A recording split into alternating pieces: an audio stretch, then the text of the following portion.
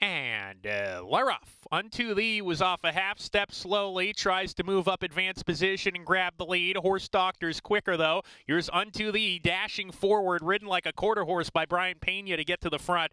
And Unto Thee has secured a clear lead. Had to use up some energy to get there, but he's on top by a length and a half. Horse Doctor into the second position, tracking the pace in a good spot. Sierra Melody running in third with Hander's Dream. Mr. Mason is next. The little H man, he's in midfield, four lengths off the pace into the far turn run, a length in front of Satanta with Arma de Oro. They join the little H man. Those three together now, and three back to the trailing exhortation as they round the far turn. Unto Thee hard sent to keep pace. He's still on the lead. Horse Doctor a lot closer. Hander's Dream about to make it a party of three at the quarter pole. Those three across the track at the top of the stretch. Unto Thee dropping back. Horse Doctor in front. Hander's Dream second. Sierra Melody, Mr. Mason chasing. The little H man's got to pick it up with Arma de Oro. Horse Doctor going for the finish. Hander's Dream second. The little H man finding his best stride late, and he's charging fast. The little H man like a rocket. The little H man and Horse Doctor. The little H man got there.